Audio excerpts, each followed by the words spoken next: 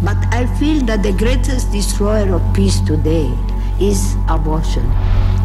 Because Jesus said, if you receive a little child, you receive me. So every abortion is the denial of receiving Jesus. You stood before creation, eternity the earth into motion. My soul now to stand.